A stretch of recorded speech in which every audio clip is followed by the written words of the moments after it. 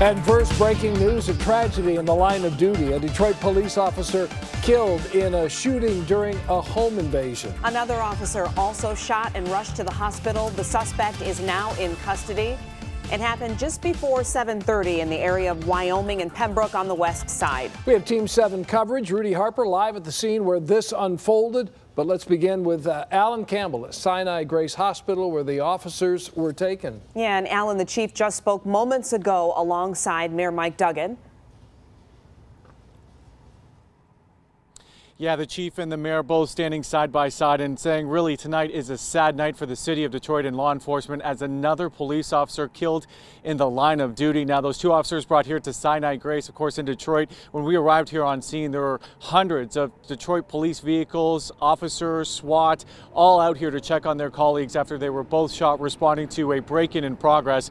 Now, the chief tells us tonight that that break-in in progress was reported around 720 when police arrived on scene. Occupants ran out of the house. Just take a listen to what the chief says happened next. As the officers arrived, occupants of this home uh, began running out, frantic, ProStar officers, and there was a report that there was a suspect inside the home armed with a rifle. The officers put that additional information out over the air, and in doing so, additional officers arrived, and the second set of officers. The officers made entry into this home. Once they made entry, they cleared the upper level of the home uh, in search of this suspect. Uh, as they began to go downstairs, the suspect, who was armed with a high-powered rifle, began to open fire on the officers. Two of the four officers was hit by gunfire. A three-year veteran of the department sustained a single gunshot wound to his left leg. The second officer, 18-year veteran, sustained a single gunshot wound to his neck.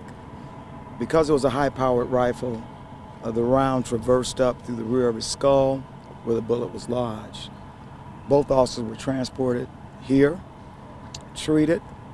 Uh, the one officer uh, with the wound to his leg is right now in temp serious condition. He's conscious and moving around. Unfortunately, our 18-year veteran succumbed to his injuries.